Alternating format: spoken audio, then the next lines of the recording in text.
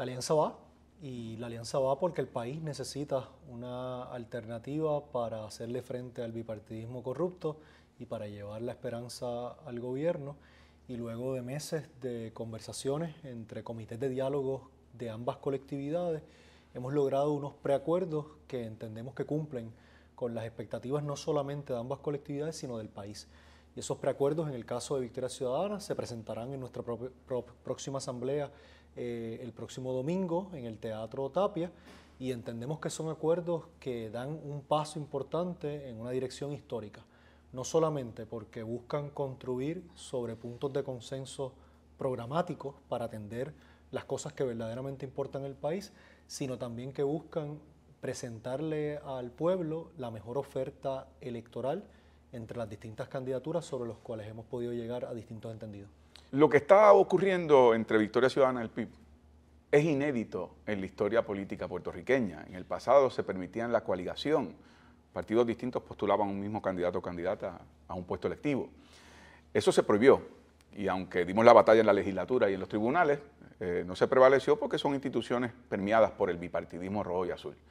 Ahora estamos en un entendido político, en una misión común, en donde dos partidos que somos diferentes, somos distintos, estamos dispuestos a construir sobre esas diferencias los consensos amplios necesarios, tanto en candidaturas, para ofrecerle al país un cambio de gobierno en todas las posiciones, como al mismo tiempo en elementos programáticos que tengamos coincidencia.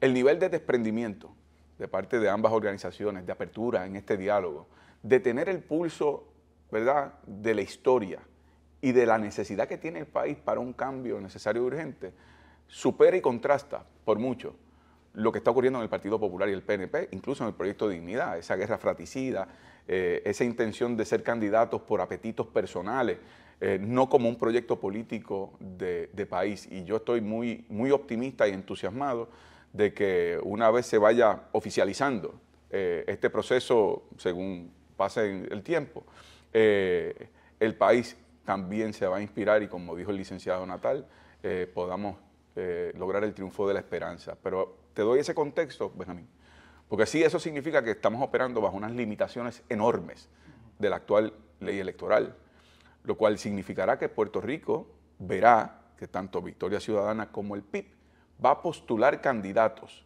a distintas posiciones, porque así lo exige el código, y nos protegemos de que vengan impugnaciones viciosas que impidan que aparezcamos en la papeleta electoral.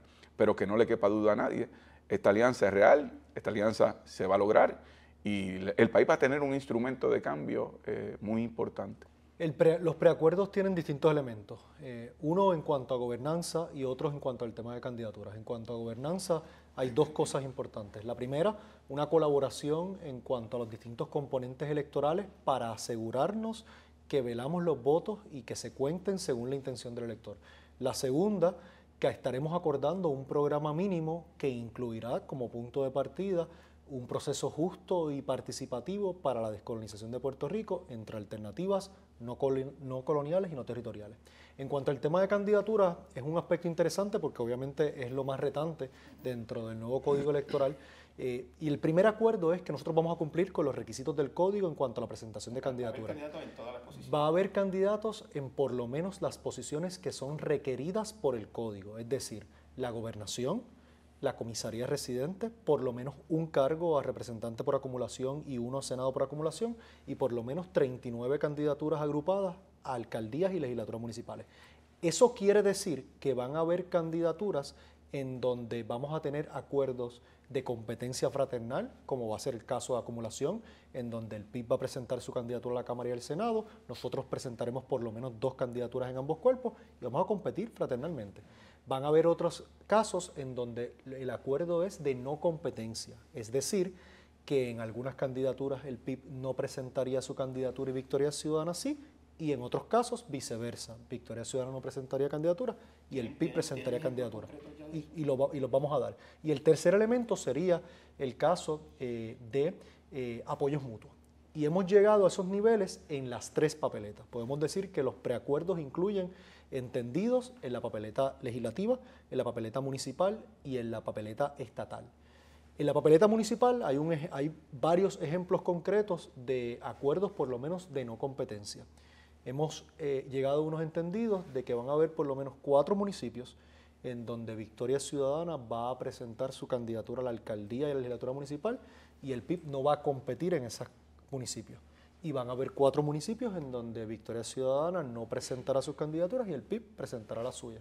Uno de esos municipios que podemos informar en el día de hoy es el municipio de San Juan. Más adelante vamos a dar el listado eh, más extenso. Nosotros no vamos a presentar candidatos. No, vamos a presentar candidatos a la alcaldía de San Juan. Uno de cuatro municipios, en el caso de Victoria Ciudadana. En el caso del PIB habrán cuatro municipios en donde Victoria Ciudadana no presentará candidaturas eh, y el PIB presentará las suyas. En lo que concierne a los, a los, municipios.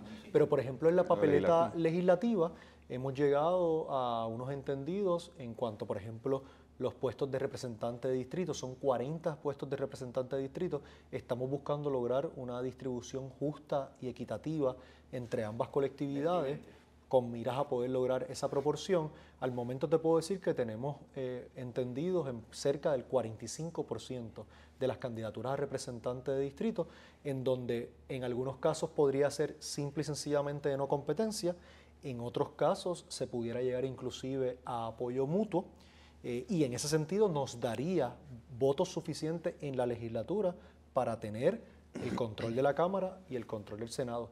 Y obviamente hay eh, un preacuerdo en cuanto a la papeleta estatal, eh, que ambas colectividades van a presentar sus respectivas candidaturas tanto a la gobernación como a la comisaría residente y como parte de este preacuerdo hay un entendido de apoyo mutuo entre las colectividades, en donde el Movimiento Victoria Ciudadana estaría apoyando la candidatura a la gobernación que presenta el PIB y el PIB estaría apoyando la candidatura a la comisaría residente que presenta el Movimiento Victoria Ciudadana. Esto va a ser algo que representará un reto, ¿verdad? Estamos en un momento único y ante condiciones extraordinarias vamos a tener que hacer esfuerzos extraordinarios particularmente para orientar al elector. Pero la ley nos expone a que si no postulamos candidatos a esas posiciones, particularmente en la papeleta nacional, no es que no quedemos inscritos, o, es que nos desertifican, podrían intentar hacerlo, lo cual significaría que no aparezcamos en la papeleta y que el país no tenga la oportunidad de votar. Eso es una posibilidad que nosotros anticipamos por la mala fe que han demostrado tener tanto el Partido Popular como el PNP. Combatieron los esfuerzos en la legislatura para enmendar y permitir la coaligación. Luego nos combatieron en los tribunales cuando llevamos el pleito. Y, vamos a decir lo siguiente, nuestra posición es que eso es una interpretación errónea de la ley. Nuestros diálogos siempre fueron con un amplio desprendimiento y siempre conscientes de que teníamos que proteger al máximo lo que sea esta oferta que le presentáramos a Puerto Rico. Y ambas colectividades han tomado la determinación de poner al país por encima de cualquier consideración de franquicia electoral. Se torna la franquicia electoral en algo secundario y la candidatura de Victoria Ciudadana a la gobernación como la candidatura del PIB a la comisaría residente van a ser pieza fundamental en poder presentarle esta propuesta de cambio al país. Pero es importante que se reconozca que esto pica de los dos lados, porque nosotros estamos buscando plantear que del PIB hay un apoyo a la candidatura de comisaría residente Victoria Ciudadana. Entonces, queda completamente despejado los señalamientos de que el PIB iba a proteger su franquicia o Victoria Ciudadana iba a proteger su franquicia. No, no, no. Estamos protegiendo al país. Es que para nosotros, este nivel de desprendimiento en estos diálogos coloca en un segundo plano los intereses institucionales individuales y ha colocado al país como el protagonista de lo que podemos hacer en esta alianza y en, este, en esta misión común, de ofrecernos en unas candidaturas a todos los niveles, en todos los puestos electivos, donde podemos hacer gobierno y cambiar las condiciones que sufre Puerto Rico como resultado del bipartidismo, la corrupción, la pobreza, la marginación, problemas de desarrollo económico, problemas del colonialismo y el régimen antidemocrático. Y yo creo que en ese sentido, eh, eso para nosotros es lo más importante.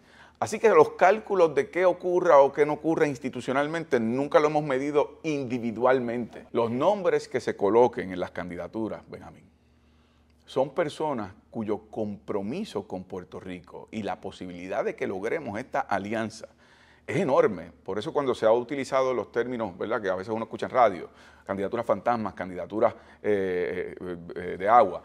La realidad es que son personas cuyo desprendimiento asumen candidaturas heroicas, pero, pero yo he visto mucho optimismo, mucha esperanza. Eh, yo creo que eh, puede haber, si ha habido algún tipo de, de duda o resistencia, pero es porque no habíamos podido explicar la magnitud de este entendido. Y es por lo siguiente, Benjamín. Aquí desde el principio todo se redujo a que los acuerdos entre Victoria Ciudadana y el PIB iban a ser que Victoria Ciudadana me apoyaba a mí a la gobernación y que yo apoyaba a Manuel Natal eh, eh, en Victoria Ciudadana y que ahí terminaba todo. El proceso nos ha llevado a darnos cuenta de la capacidad de desprendimiento y de tener conciencia del momento histórico y poder llegar entendidos en tantas otras candidaturas para ofrecerle al país un cambio de gobernanza, de gobierno, eh, que es algo extraordinario y cuando la gente lo vea y cuando la gente lo comprenda, yo estoy seguro que vamos a tener, no, digo yo solamente dentro de las instituciones, el país en general se va a dar cuenta que mientras están en una guerra fratricida por apetitos personales en el Partido Popular, el PNP, incluso Proyecto de Dignidad, aquí hay dos colectividades que desde sus diferencias están construyendo consensos para poner a Puerto Rico primero. Y eso es lo que necesita el país. Esto se supone que no ocurriera bajo ninguna métrica. Esa es la verdad. Porque el diseño del país todavía no estaba preparado para que dos colectividades distintas tuvieran el nivel de desprendimiento, de apertura, de conciencia, de poner a Puerto Rico primero y lograr estos entendidos es algo extraordinario. Eh, eh, la naturaleza de ambas organizaciones es distinta. Manuel lo, describió bien, eh, ¿verdad? Cuando dijo, Victoria Ciudadana es un movimiento político que surge de la diversidad. El PIB es un partido histórico, ideológicamente definido de, de, manera como movimiento independentista. Eh, y poder darnos cuenta que eso tendrá su espacio, la descolonización, pero la idea de que tenemos que plantearle al país una oportunidad real. De nuevo, 28% de los electores en la pasada elección que apoyaron a Victoria Ciudadana y al PIB le dieron la espalda al bipartidismo rojo y azul y el gobernador sale electo por 32% de los votos. O sea que esto es algo muy real. Y yo creo que la misma dinámica de ahora sí poder presentar esto como un proyecto eh, es algo que, va a inspirar a amplios sectores en Puerto Rico. Yo tengo confianza en el licenciado Manuel Natal y yo sé que si, si hay algo que él le preocupa, él tiene la apertura para planteármelo o viceversa y eso no se tiene que crear en institucionalizar un conflicto, una sugerencia o algo. Pero, pero la dinámica ha sido en el respeto más absoluto a nuestras propias identidades como organizaciones y eso es lo que ha permitido varias cosas. Este proceso lleva más de un año y hemos ejercido una disciplina tan, tan rigurosa eh, de, mantener nuestras conversaciones entre, entre los comités de trabajo, en que aquí no se esté debatiendo cada punto y coma, de manera que los que estemos involucrados, estamos involucrados de buena fe, porque queremos que esto funcione. Y eso ha protegido mucho este proyecto. Así que yo creo que esa fórmula nos ha funcionado muy bien. Eh, hay personas que piensan que, que, esto es cuestión de darse la mano y ya. Y, estas cosas para que funcionen requieren de desarrollarse relaciones de confianza que se dan en la práctica, que se dan en el día a día. Eh, y, por eso hago mucho énfasis no solamente en el PIB y en Victoria Ciudadana, en otras colectividades, en otras organizaciones que queremos que también se sumen a, los distintos esfuerzos eh, desde, desde la confianza, desde la confianza de todos los días actuar correctamente, de vernos en las manifestaciones, de vernos en las luchas, de vernos en la propuesta eh, y de darnos cuenta que, hay tantos elementos en común que, sería eh, una tristeza enorme para el país que nos mantuviéramos dando esas luchas de forma separada y que sobre aquellas que tengamos consenso eh, pudiéramos hacer algo como lo que hoy estamos anunciando.